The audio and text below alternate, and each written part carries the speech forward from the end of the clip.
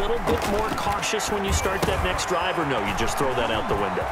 I think you are. I don't think that there's any way you can run back out there and go, ah, totally didn't affect me. Let's just go ahead and be loose with the football again.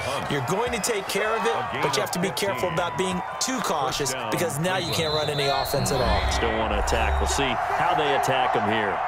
Fourth quarter, down to the final two minutes, and we've got a one-score game.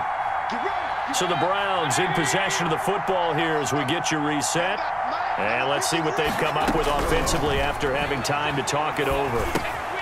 Here's a first down throw that's complete. And they'll get to him after a gain of seven to the 47. Jarvis Landry.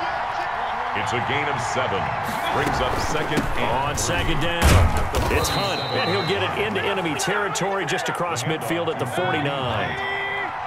The drive continues as they search for a tying touchdown. Here's first and 10. Completing it to the right side, Johnson. And this one goes nowhere. Losing yardage on the play back at the 46. Back at the 46-yard line. So they had the big loss on that first down pass play and facing a second and long. And, oh, a crusher there as it's intercepted. Picked up by the Honey Badger, Tyrann Mathieu. And that's the play that picked by Mathieu that will seal this football game.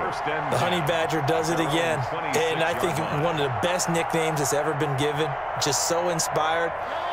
He may not care, as Honey Badgers don't, but he understands how to get around the ball, and he just sealed another victory. How do you know about the mental psyche of a honey badger? That's always been the expression. The honey badger, he doesn't care. He's brought down. It's a six-yard gain on the ground, and that'll make it second and four. Brings up second and four.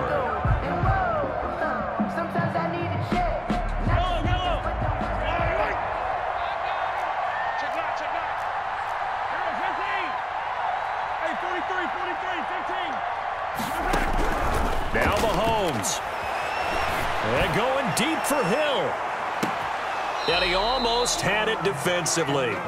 Could have been a game changer there in the second half. Instead, it's third down. He was covered by Denzel Ward. Now they face a third down and four after that incompletion on second down.